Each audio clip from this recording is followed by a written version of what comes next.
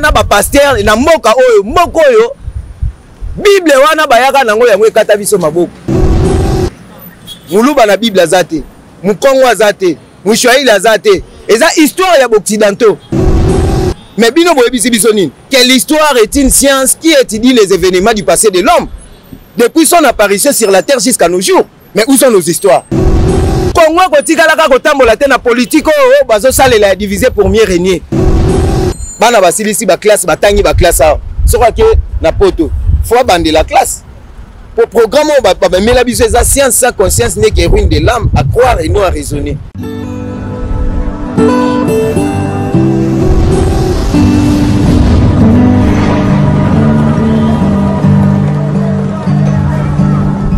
makanisi ya nzambe émission na biso makanisi ya nzambe présenté par euh, vanessa yambele merci na balandi nyonso ya dosta tv merci à toute une grande équipe technique oyo basimbi émission na biso ya mokolo ya lelo merci na boss na ngai dosta napesi ye mbote bisika azali merci osi na bafidèle na biso nyonso ya yeah. dosta tv bozalaka toujours wana bosabonaka boyemaka bokommentaka biso mpe toza toujours wana mpona kosalela bino mosala emission na biso ya mokolo ya lelo toyambeli bino moko ya oyo aza beaucoup plus euh, spirituel hein lelo tokoti vraiment na bonzambe spirituel nde vraiment lelo tolobela na nkombo ya koko palata aza déjà na plateau na biso toyamba ye topesi yo mbote papa mbote mingi mama afrika boni santé kati na etumba baindo babika kaka na nkombo ya fumu kimbangu balongo bakoko na biso koko palata kale tozali etumba ezokoba kaka merci koko palata tosepeli lisusu koyamba yo lelo na émission na biso makanisi ya nzambe mpo tosolola kaka nde mboka na biso ezokendela tokota sikoyo na oyo eza mama ya likambo na biso na mokolo ya lelo hmm, tokota sikoyo actual uh, beaucoup plus uh, tolobela tokende na actualité actualité oyo ezokende na mboka na biso sur le plan physique na spirituel tobandi na sur le plan physique matondo mingi nengwa pamba te balobi bango moko tout effet spirituel est accompagné aux effets physiques maye kaka ya mosuni nde balanaka na oyo ya molimo pamba te ma ya molimo ekobalana na oyo ya mosuni nde na mosuni mpa na biso toza na faillite makasi koleka pamba te toza na prolongation inutile oyo lokola toyebi nanu programme te tokomi na temps nini nde omoni mosuni mpe ezonyokwama lokola molimo ezonyokwama efe nango ekoya paya nani paya mosuni mpo molimo na biso toyebi ntina na yango te toyebi ntina ya mboka na biso te toyebi ntina mabele na biso te toyebi ntina loposo na biso te toyebi ntina mibeko ya mboka na bamboka na biso te mpe koba toyebi ntina baculture na biso te to bahistoire na biso moko toyebi yango te nde eloko eza ya donc mpasi ya monene koleka lisusu ezali ke biso moko peuple congolais toza baignorant na makambo oyo ezomonana physiquement tozonyokwama toza baignorant mpo tokonyokwama te meme na mosuni mai etondi mbisi zamba etondi nyama mabele na biso donc eza abondama etondi bomengo siko tonyokwama na mosuni na lolenge nini donc seke tomiyebi te mpo soki socrate alobaka connais toi toi même mutu fo amiyeba ayeba valeur na ye fo azala respecte na bato fo ye moko abimisa nanu kozala na ye ye moko atombola yango apesa yango lokumu nde ntombwa yango wana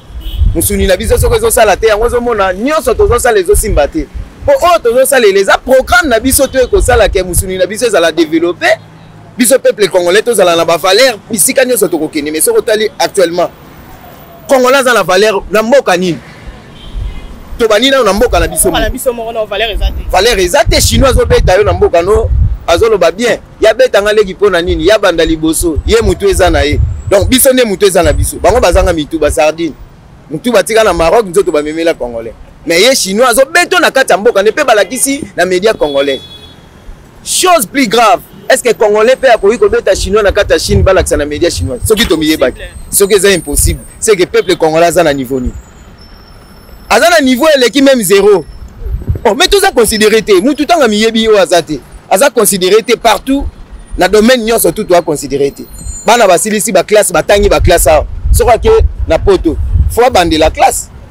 po programme oyo bamemela biso eza science sans conscience ndeke ruine de l'âme à croire et non à raisonner tondimaka kaka qui a découvrir l'embouchure du fleuve congo oyo oh, c'est diego kao mais où étaient nos ancêtres po bakoko babengaki yango nzadi congo soki oyebisi bango non c'est nos ancêtres depuis l'antiquité batie o zero faut koma kaka nani mundele nde batie yo 10 nazo biso nyonso na politike oyo na politike oyo bandeko na biso ya politike bazosalela ya biso te yango omoni baintere ya peuple congolais eza nango te mpo balakisa nga na constitution congolais wapi esika jeunesse congolaise aza na droit ya ata 1 dollar ya mboka na ye eza wapi bango nde bakoya kolia yango na rame ah, osomi crédit no baye balie yango Oh, mais nazo yebisa yo ti. Yango to mona. Foto ngai ye koko palata na uta ko annoncer ba mindele ba bongama. Ba ko beta mana yebisa ba belge. Oh, mais na yebisa ki bango ti. Et ne ne mission bo bo de mis ndeko na ngai ba ndeko na ngai ba indo bana ya Congo bino ba bolandaka koko palata. Boyeba yango mundela za na grand risque oyo donc ezo riske bakende boloko ya, ya, ya, ya libela na mokili nazoye biso mokolo bakabolaka biso na conférence de berlin biso bacongolais tozalaka te tosigne tokabwana na bandeko na biso babrazzaville mokolo bakabolaka biso na allemagne mpe nauti koannonce ballemand bino moko bomoni bama ezokota na bamboka na bino eza mokie omoni kaka nde na ye boye omoni kaka lelo nde ngai naoyebisa bino botala bato misato ngai naza na bango na tolona eza mbuta lumumba Mzee Kabila, Befu Mukimbangu. Non, bakoko baa na kanda. Bato oyo balakaka bino. Muta Lumumba ayebisaka bino la Belgique veut balkaniser notre pays Congo. La balkanisation du Congo. Le Congo sera uni et indivisible. Votre plan a été déjà établi. Votre complot a été déjà fait. Mais sachez-le bien, l'éclatement du Congo, ce n'est pas aujourd'hui, c'est demain. Belgique, makambo yo sala. Porte bino bobosani makambo bino belgique bino bosala congo boti kosouleve lino ya lumumba me botala bamai na mboka na bino nazoyebisa bino kaka sur le plan sur le plan physique oyo toza nango nano nauti koyebisa bino babelge lokola bino bosouleve lino lumumba boye beclatement ayebisaka bino bokozwa yango omoni mai na mboka na bino mpona autaki koyebisa bino bokozwa mai moto mopepe mpo biso toza na minduki te tosalaka minduki te toza na babombi te bokobunda nde na nzambe ya mpungu bokosamba bokosamba na nzambe ya mpungu bokosamba e eh. donc ntango ekoki o peuple congolais fo ayeba aza nani mpe bino babelge bobosana te makambo oyo bino bosala biso asala bino nini belgique léompolda aza mboka oyo ekoma bien privé na ye ndeni mais ezalaki bien privé ya léompolde bango moko bazoloba bien na 1908 léompolde ceda son congo à la belgique siko bino boyebisa ngai botraduise léompolde ceda son congo à la belgique na lingala elakisi nini nani apesaka léompolde mboka oyo mpo ekoma bien privé na ye à part nanu l'impolde portugal ateka biso 3 siècle portugal bobongama allemagne bobongama france bobongama italie bobongama mpe nayebisaki nauti na pape yeba matondo yeba ke tozobuka bino vatican wana tozotinda tremblement de terre na kati ya, ya vatican bapede bakobima kuna ngai okoko palata na anosaka bino na 2019 na feza tv ntango basud africain baoboma biso na afrique du sud nayebisaka bango ke baa bandeko na biso bayindo tokolimbisa bango me bino mindele bato bozalaka na nsima makambo wana ekoko palata apparemment lelo ye na kanda makasi nayebisi yo ke mindele oyo bino bosala congo ce n'est pas à oublier biso mpe tokobosana te bitumba eza na kati mabele ya bakoko na biso oyo bino bomema bikeko ya bakoko na biso bino bomema na bamboka na bino ekobeta bino ntina tala monene ozala su na tan te yo lokola ozoya kaka na bainsection na afrique mpe na congo yebaka congo eza mboka ya bako ya bakoko bino baaméricain lelo boye kotonda na mboka oyo bozoya kaka eh, bozoya mpo tootindela bino nzoyi na ngungi eoboma kaka bozela bino nde boya nalobi bacongolais kotouche bango te bino boyeba ke na 1959 bokima mitakala na mboka oyo boyebi makambo elekaka awa makambo wana toye nango topikola mabenda tre na maboko bakoko na biso bomona force oyo eza na mboka oyo mais ti lelo botangisi biso badiama na papier colta na papier manganese na papier iranium na papier cobalt na papier na misu tomona te mais yo mundele bomengo wana yango oyo ozosiamela mpo obomi ngai makila na ngai etangi mpo ozwa bomengo na ngai yeba nzoi ngungi mpe biloko nyonso to okoka na otangela bino bokeba nango na mboka oyo merci beaucoup koko pelata tobaki toya na des actualités tozalaki na physique tokei na spirituel nyonso oyo ti oloba ezalaki physique tokei sikoyo sur le plan sur le plan spirituel impression leko ozali matondo mingi na ngonga oyo fo bavandisa spiritualité ya congo mpo ezali bonzambe na biso bakoko na biso basambelaki ekabolaki bafamille te me lelo botala bonzambe bamemela biso mwana akangi mama ndoki estce chinois akangaka mama na ye ndoki ezaka awa na congo kasi mpo bamemelaki biso bonzambe moko balobi tozelaka moto akoya nzela likolo na se bango bazoyiba bomengo eh, yo zelaka moto akoya nzela likolo po eza baverset biblique monté par eh, eh, eh, léon paul le ntango azotinda bamissionnaire ba catholique na bapaster azoyebisa bango nini baverset biblique wana eza nango ya solo te ezalaki monté alobi veye désintéressé aux nègres les richesses qui regorgent leur sol et leur sous-sol Dites-leur des versets tels que Errez les pauvres en esprit car le royaume des ciels est à eux. Cherchons premièrement le royaume des cieux et son justice. towelela bokonzi ya likolo mpe esambisi estce mondele awelelaka bokonzi ya likolo azowelela bomengo na biso ye asarichir biso tozongaka babola me biso tozela bokonzi ya likolo balaka biso me tuna bango nani oyo deja akenda na likolo kuna ata motu moko te ozomona donc eza bamassonge fo catholique aloba deja vérité bakabanaka na protestant ndenge nini nazoye biso fo catholique matondo fo catholique aloba bosolo na bapaster na mboka oyo mboka oyo bible wana bayaka nango yango ekata biso maboko muluba na bible aza te mukongo aza te muishuaili aza te eza histoire ya boccidentaux mais bino boyebisi biso nini que l'histoire est une science qui étudie les événements du passé de l'homme depuis son apparition sur la terre jusqu'à nos jours mais où sont nos histoires bachinois na bible batie bango te baindien na bible batie bango te mpo na nini sikoyo mais bango mpe baa bato mais sikoyo so oke na chine baza na principe divin buku na bango oyo ese referaka mpa na bango soki oke pa baarabe omona bango baa na buku na bango coran bamisusu baza na principe divin yongi bato na bato baza na bongo biso banoir ya biso eza wapi merci beaucoup uh, koko palata tozokoba kaka koko palata kaka bino moko bolobaki ke tokota nano mamba prophetie kaka bino moko bolobaki quatrième président oyo akoya ye nde asauve mboka na biso congo tomonaki président joseph kabila leki oye te lelo lisusu toza na président félix tshisekedi toyebi te eza ye to tozela lisusu mosusu akoya matondo mingi mwana oyo atunaka aliaka nyamekila te peuple congolais fo ayeba ata batangele prophesie ya fumuki mbangu pena ya solo mpona omoni bozo nange na prophesie wana prophesie wana eza réel bokonzi ya mboka na biso elandi 4 langue nationale yango tozokende bokonzi ya mboka na biso elandi 4 langue nationale toza na 4 langue nationale toza na kikongo lingala kiswahili chiluba bokonzi ebandi na bakongo mbuta kasavubu arincarne bokonzi ya bakongo oyo babengaki mpungu tulendo toye deuxième programme lingala tomoni mbuta mobutu arincarne pouvoir wana babelelaki nzakomba toye troisième programme baswahili tomoni muze kabila ye babomi ye nde mwana asali interim amemi kaka pouvoir wana baswahili lelo apesi 4e langue nationale muluba vidi mukulu mbuta chilombo nde esengaki mbuta chilombo siko ayeba akoprepare arrive ya roi mpo roi akoya mokonzi voya yango mokonzi ya mboka fo aprepare jeunesse déjà mpo motu wana akoya akoya na programme ya politike oyo bango baosalela te oyo ya divise premier réunion Eh, akoya na bonzambe oyo bango bakokende te bamaikari barose croix akoya na bonzambe oyo bakoko na biso babelelaki nzakomba akongo mongali mungu wa baba vidi mukulu yango nde akoya nango akoya na sianse oyo ekozala te sianse oyo totangaka ata biki ya pamba tokosala te ata tonga pamba me baklasse ezotonda chaque jour bana bazosilisa oyo alongi na ye ah. sikoyo tala neti ekole ya boye eh? révérend ki bazofutisa mwana maternel 800 dollars mais aza coréen awuti mosika ye asombi kaka programme enseignement na congo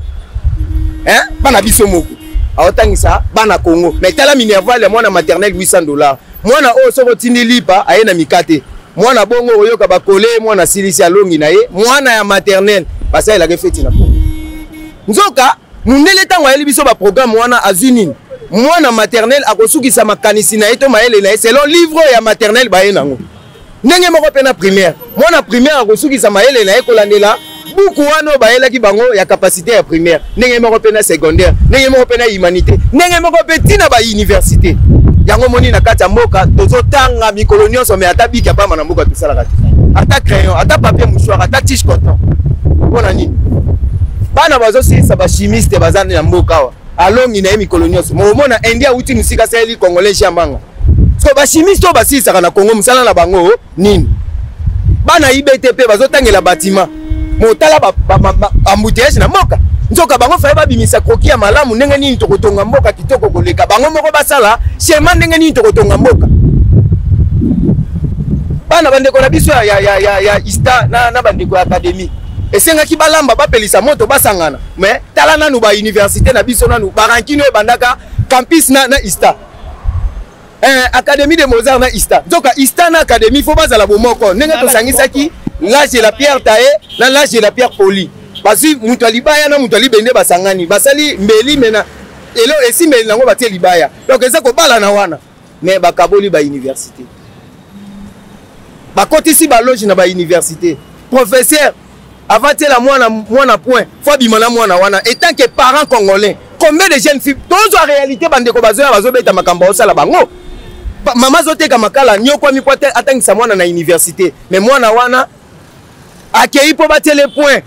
ya mayele no asali mais professeur wana aboyi kotiele point fo abima na mwana wana nsima atiela ye point eza kozala ya réalité ya congo chauffeur akumbaka yo opesake 1000 francs ya malewa oza na niongo ne ya 8 mois mais okoyoka chaque samedi apesaka bana ne ba 200 dollars ba 300 dollars ba 800 dollars bakendaka eh, moto akofute te mais baa bacongolais mpo na nini oyo bango bazosalela eza kicongolais te eza kioccidentaux kiaméricain donc aza nini na etali ye te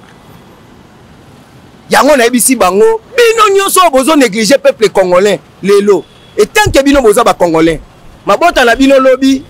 ekonyokwama na nsima na bino jeunesse ayaka mpo na lipamboli na mboka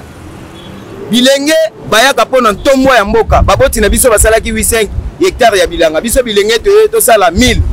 bilenge mosusu bakoya bandeko basalaki 1000 biso tosala 2000 yango wana nde elenge mais sikoyo totala jeunesse congolaise abundi le 4 janvier 59 atangisi makila na ye le 5 janvier le 6 janvier makila na biso jeunesse nde etangaki nde yango mbuta lumumba aexplikaki bango voici les combattants de l'indépendance sont aujourd'hui victorieux sikoyo banani balongaki eza biso peuple congolais mpe jeunesse congolaise sikoyo wapi bavaleur na biso wapi droit ya peuple congolais na mboka na ye mpe na bamboka étranger oke na brazzaville balobi boma zairo atika nyoka oke na ngola balobi voselanga na afrique du sud partout tozokende biso toyebi te congolais aza considéré te mpo eza makambo oyo tozolobela yango moni meme na parlement baboya mbondo na ekila mpo soki batia mbondo na ekila bakoyiba mbongo na mboka yango mpo bokoko nde ezonga na mboka nayebisaki mokonzi cilombo oza 4e président langue nationale oyo ozo représente pouvoir ya vidi mukulu bakosa ote luka obatangelo prophétie ya fumukimbangu totanga prophétie ya fumukimbangu omona position ya charge na yo mutuko bapesaki yo Petit 200 ans et otambola faut balongola ngo na makadam bazongisa ngo wapi na rai bokongo etambola kongo ekotikalaka kotambola te na politike oyo oh, oh, bazosalela ya divise pour mieux régner kongo ekotikalaka kotambola te na bonzambe oyo ezokabola bafamille congolais kongo ekotikalaka kotambola te na science oyo banda tobanda kotanga ata biki ya pamba tosalaka te mais bango bakuti biso na lage la pierre taye toke na lage la pierre poli toke na lage de métaux tovivaki na pêche na keete na chasse na agriculture pêche élevage bakuti biso na document écrit tokomaka nini document miwe bakuta biso oyo toko retenir eza kaka ke prophétie oyo fumukimbango alobaki ya quatrième président nanu ekokisami te nalobi eh, quatrième président natangeli yo ke toza na 5 président na mosuni 4 na, na, mo, 4 na molimo nde sikoyo lokola programme 4 langue nationale esili donc c'est ke mokolo makambo osani ah, kasi ye faut préparer arrivé ya roi ntango mosusu boza na ye ntango mosusu mpe azoleka ntango mosusu mpe bosolola na ye mais bilaka tata mokele elekaka te mokolo makambo voiza nini azo eloko na ye eza charge congo ekotikalaka kotambola te na politike oyo booccidentaux baya nango tomoni olateli biso lelo nini olateli biso ya miloni misato boye toyebi te so elakisi nini ingeta lelo ezali kaka mokolo oyo basantu na biso tozokanisa bango mpe tokanisaka bango mikolo nyonso mpo na kotalisa bana ntango akotuna oyo oh, nani ah muze kabila babomaki ye mpo alobaki ne jamais trahi le congo alitaki mpo na mboka na ye bafrançais bayebi liwa na ye mpe katholike ayebi vatican ayebi eh, nazoloba bien vatican oyebi badirigant nyonso bobomaka na afrike mpe na congo toyebi bino boyebi yango me bozela sikoyo tozobuka nanu vatican ntango tobuka vatican sikoyo bino basango congolais na bamonseigneur mpo bino bozobenga Bo, bolobi babengaka bino ba monseigneur. Monseigneur elakisi nini? Tala ndenge bino bokosa peuple congolais. Babengaka bino ba nani? Ba monseigneur. Siko lobi tango ba tongo bakoyeba bayo kotuna yo. Yozalaka se seigneur. Kongo nyokwamaka ndenge batekaka biso na tipotipo mpo na bateka biso na zanzibar mpo na mpo na nini peuple congolais azangi va valeur est ce que histoire oyo botangisa biso na classe oyo katholike oya nango eza histoire ya solo ya peuple congolais religion oyo bino bootangisa biso na baklasse est ce que eza religion na biso ya peuple congolais boyeba yango kongo ekobika mpe ekobikisa afrike ntango ekoki biso bilenge ya kongo tolamusa makanisi na biso toyeba nini tokoki kosala mpo tobatela mbo mboka mikolo tosengelaki na mosolo ya mboka kongo ekoki tofongwami miso lelo tomoni bozoba nyonso tosali oya kobongisa congo avenir ebongi tosala ebongi tosala moto oyo nyonso ata mwana kongo ya mosolo pembe ya nzoku kongo ya bwanya kasa ya mbila kongo ya makasi moto ya nkoi kongo kongo nde mboka kongo mboka ya bakoko bazoloba kongo mboka banani tala sikoyo bilembo batieli kongo kongo ya, ya, ya, ya, ya mosolo pembe ya nzoko ivoire kongo ya bwania kasa ya mbila l'arbre le plus riche du monde eza nzete ya mbila kongo ya makasi moto ya nkoi me lelo bino bokoma babrebi perdi ya maison ya israel bozonga bankongo bozonga na kongo fumu kimbangu aza na bosenga na bino bino bana na ye boya ntango ekoki bosala nde mosala nzela nde esengaki bino mpe boya mpo na kodefendre mpo na kotombola masolo ya biso ebombama oyo bango babombaki na sambetu emonana na miso ya bato mpe napesi mbote na bayindo banso boza libanda na amerike na asie na europe na oceanie nayebisaka bino bozonga boya mondele bakontina wana bamboka wana nani bomoni te mm. bamboka wana tokokabola yango mm. totindi milimo mm. ya bakoko na biso bango babomaka babwaka na bamai na moto eh. na mopepe boya bafrontière ekangama oh. moni tour oyo soki tokangi bafrontière eh, bozanga esika okende merci beaucoup ezalaki bongo koko palata tosololaki concernant mboka na biso congo na sur ke bolandi ye mpe bocomprendre merci na bato nyonso bazwaki libaku ya kolanda émission na biso na mokolo ya lelo makanisi ya nzambe soki bosepeli na émission bopesa merci na oyo asimbaki bilili oyo aza bongo na nsima ya kamera na biso na nkombo ya gaitan joyeux anniversaire à mon privé et personnel hein? steve kalongi steve kalongi napesi yo joyeux anniversaire mbotama mbotama elamu nzambe abatela yo abakisela yo lisusu oyo ezangaki Merci beaucoup à mon boss euh, Dosta TV pour la confiance. Merci à toute personne au oh, balanda rabiso na musika na pembeni na pesi bino nyonso mbote. Ezalaki bongo Vanessa ya mbele elongo na invité na biso Koko Palata. Merci Koko Palata pour na euh, invitation na biso oboyaki te o accepter invitation na biso. Ngala bino tokabwani lisusu awa pe tokutani mbala sima. Au revoir.